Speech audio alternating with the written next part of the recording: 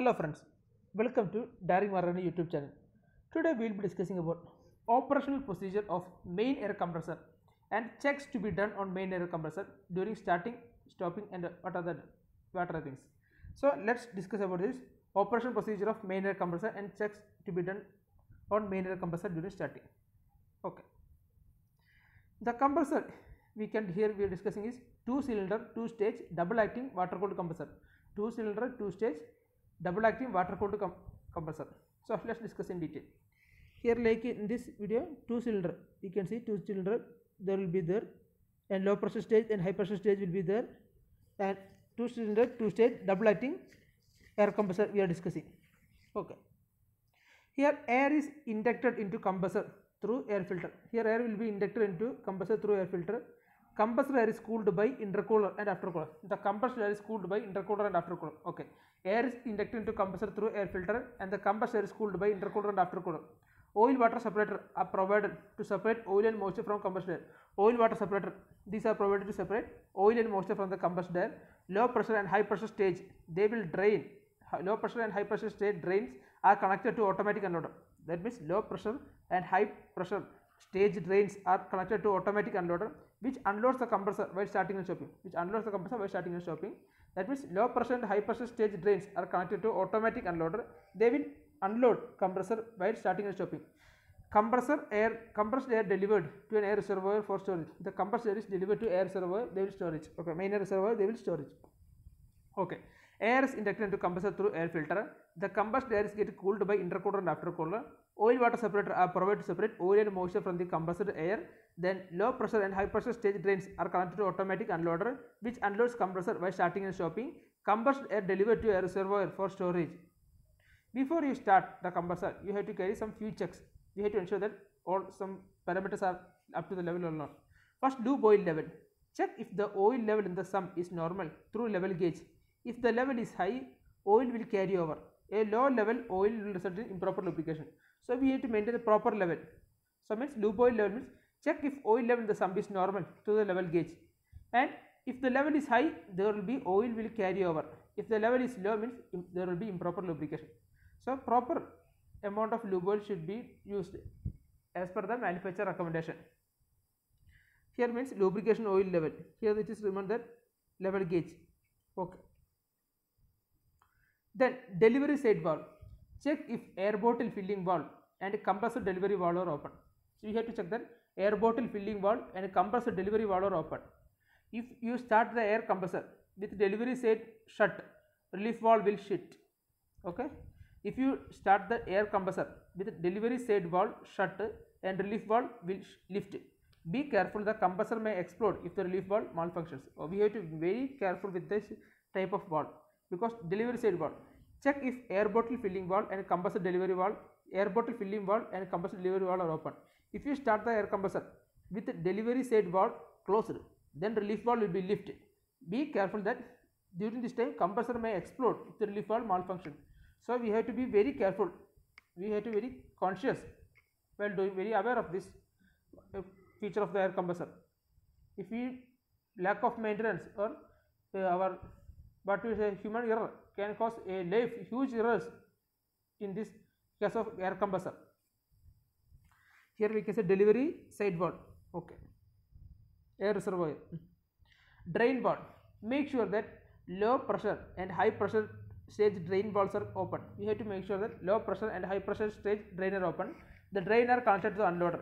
Because starting the compressor with the drain valve, shut will overload the compressor. Okay. If you start the compressor with the drain valve closed, then there will be overload of the compressor. Okay. Drain valve means make sure that low pressure and high pressure stage drain valve are open because drain valve are connected to unloader.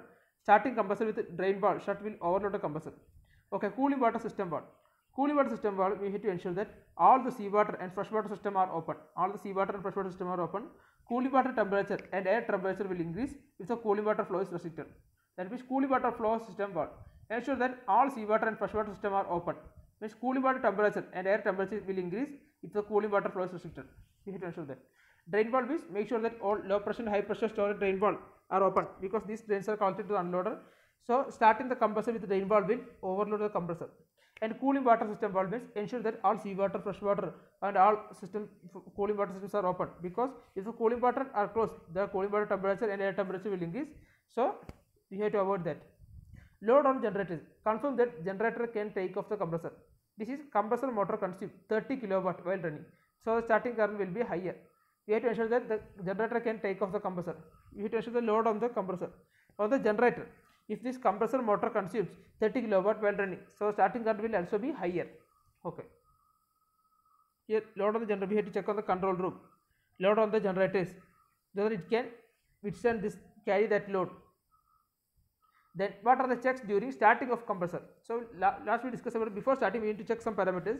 Now discuss about checks during starting of compressor. Starting of air compressor. Start the compressor now. Confirm that automatic unloader has closed the drain. You can hear the sound of air draining stopped. In addition, confirm that compressor is loaded. Okay, how we start the air compressor means start the compressor now. Then confirm that automatic unload has closed the drain. Here we can we to ensure that automatic unloader has closed the drain and you can hear the sound of the air draining stop. Okay, we can hear the uh, sound of air draining stop. In addition, confirm that compressor is loaded. Okay, compressor motor current. Check the current drawn by compressor motor in ammeter. If this is higher than normal, it indicates the compressor is all order. Okay, compressor motor current means check the current drawn by compressor motor in ammeter. If the current drawn by the ammeter is higher than normal, that means it indicates compressor is overloaded. Okay. What are checks during starting of air compressor is first need to starting of air compressor. Start the compressor now. Confirm that automatic unloader has closed the drain.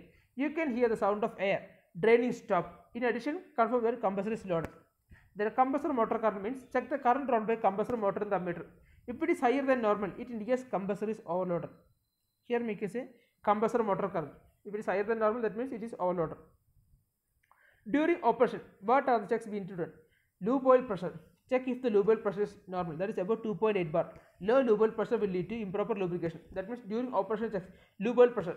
Check if the lube oil pressure is normal, around 2.8 bar. Low lube oil pressure will lead to improper lubrication. Okay. During operation check means lube oil pressure.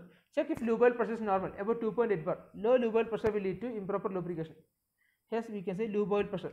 Okay. Low lube oil pressure will lead to improper lubrication. Cooling water temperature and pressure. Cooling water temperature and pressure means monitor the cooling water temperature and pressure. We need to monitor the cooling water temperature and pressure. Cooling water pressure should be around 3 bar. Cooling water pressure should be around 3 bar. Maintain cooling water inlet temperature between 30 to 40 degrees. We have to maintain cooling water inlet temperature between 30 to 40 degrees Celsius. Cooling water pressure and temperature will affect the air temperature. The cooling water pressure and temperature will affect the air temperature. Okay. Cooling water temperature and pressure means maintain the cooling water temperature pressure. Cooling water pressure should be around 30 bar and cooling water temperature should be around 30 to 40 degrees Celsius. Cooling water temperature and pressure will affect the total uh, uh, that means compressor air temperature. So we have to be very careful. That means we need to carefully monitor the cooling water temperature and pressure. The cooling water pressure should be around 3 bar and temperature should be around 30 to 40 degrees Celsius. Here we can say cooling water temperature. Okay. Then here's the temperature gauge all. Okay. Temperature pressure. Here cooling water pressure gauge. Here this cooling water temperature gauge. Okay. Then delivery of air temperature. Monitor the delivery air temperature will affect the cylinder lubrication and reduce the efficiency of compressor.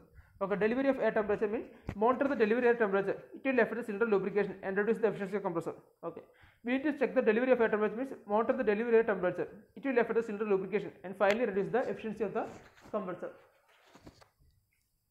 Then temperature gauge, delivery air temperature. Otherwise, it will affect the efficiency of the compressor.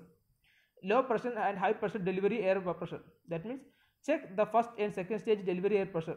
Observe the time taken for filling the reservoir. Means low pressure and high pressure delivery air pressure means check the first and second stage delivery air pressure. Observe the time taken for filling the air reservoir. Delivery pressure that is first and second stage. We need to check the time taken for filling the stage, the air compressor. Air reservoir pressure. Time taken for pressure to rise in the air reservoir will indicate performance of compressor. Means air reservoir pressure. Time taken for pressure to rise in the air reservoir will indicate performance of compressor. That means the time taken for pressure to rise in the air reservoir will indicate the performance of compressor. Air reservoir pressure. Abnormal noise or vibration. Check for any abnormal noise or vibration. Stop the compressor immediately if you hear any abnormal noise. Do not start the compressor without investigating the reason for abnormality. Abnormal noise or vibration means check for any abnormal noise or vibration. Stop the compressor immediately if you hear any abnormal noise. Do not start the compressor without investigating the reason for abnormality. Okay. Abnormal noise or vibration means check for any abnormal noise or vibration. Stop the compressor immediately if you hear any abnormal noise. Do not start the compressor without investigating the reason for abnormality. Checks during stopping of a compressor. When you stop the compressor check whether unloader opens the drain the air. Okay check whether the unloader opens to drain the air. In compressor where an unloader is not fitted you should open the drain before stopping and stop the compressor. Okay checks during stopping a compressor means when you stop the compressor. Check whether unloader opens to drain the air. If a compressor where the unloader is not fitted you should open the drain before starting and stop the compressor. Abnormal noise vibration means check for any abnormal noise vibration. Stop the compressor immediately. If you hear any abnormal noise do not start the compressor without investigating the reason for abnormality. Checks during stopping of compressor. When you stop the compressor check whether unloader opens the to drain the air. If in compressor where the unloader is not fitted you should open the drains before starting and stop the compressor his compressor you should on. Okay. Thank you